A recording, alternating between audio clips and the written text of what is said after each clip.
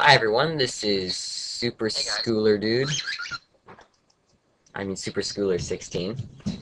And I'm going to show you how to make movies and edit them with my movie Windows Live Movie Maker and with Windows Movie Maker, this other version. Now this other version is really cool because it can do transitions and effects and credits and titles and stuff like that. So I used it to create this. And I actually did that for this. So that when I shoot this guy, it goes, whoa, let's see that again. Now the way to do this is very simple, but it took me a little bit of time to figure it out.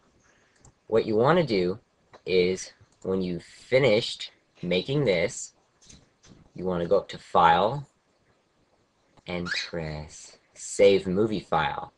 Because if you don't press Save Movie File, you'll save it as a project file, and you can't put that on anything. So you want to save it to computer, not to camera. Save to computer, press Next, give it a title, click where you're going to put it. I put it on desktop just for easy usage. Quiet Birds then best quality, next, and then have it do that. And then you go over here, you click on Windows Live Movie Maker, and you press Add Videos and Photos. You go to where you saved it, and there it is. Then you just add it, press Open, and then you just move it over here into between this frame and this frame. Now the way to split frames so that you can do this and edit them is actually a little difficult because it won't let you um, do very much while you're in the project. You have to like click on it and then go to project. Oh no, sorry. Go to home, no. Go to edit, there we go. And then it'll split just where the line is. And then you can go to trim tool and it shows it here. Now I was looking for this trim tool and I was like, where is it? I don't see it because I'm used to doing it on Vegas Pro. But my trial expired, so that's not going to happen anymore. But it's actually this. And you just do it from start point A to end point B. And you can choose the editing of where it is.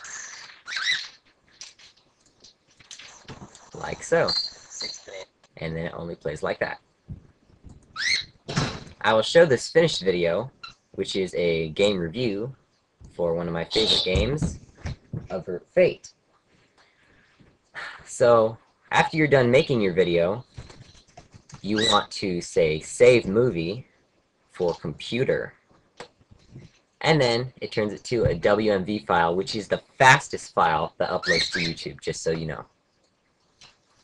So you want to save it, save it there, and then let's go, there we go, hold on again. Save it there, and then it saves it, converts it, and then, oh, the one video.